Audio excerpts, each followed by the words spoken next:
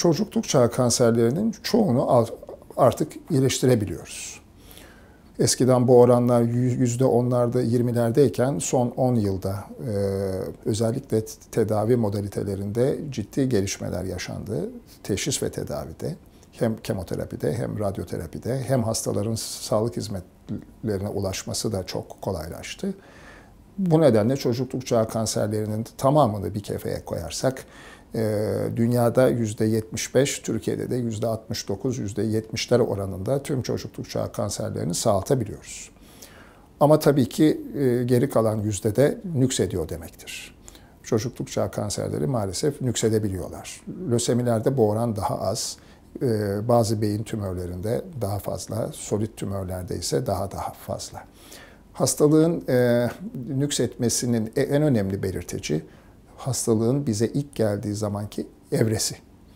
Eğer erken evrede yakalamışsak ve metastaz yapmadan hastalığı teşhis etmişsek ve tedavisine başlamışsak nüksetme şansını azaltıyoruz. Ama e, eğer bunun, bunun aksi söz konusuysa nüks şansı artıyor. Biz lösemileri 10 e, yıl kadar izleriz. Başlangıçta her ay, daha sonra 3 ayda bir, daha sonra 6 ayda bir, daha sonra yılda bir olmak üzere. Tabii yıllar geçtikçe nüks şansı azalır ama 10 yılda bile nükseden çok ender de olsa hastalarımız var. Solid tümörlerimizi ise 5 yıl takip ederiz. 5 yıl içinde hiç nüks olmamış hastayı artık kür olmuş kabul ederiz. Eğer nüks olursa da tabii ki nüks protokollerimiz ve nüks tedavi şekillerimize göre tedavisini yaparız.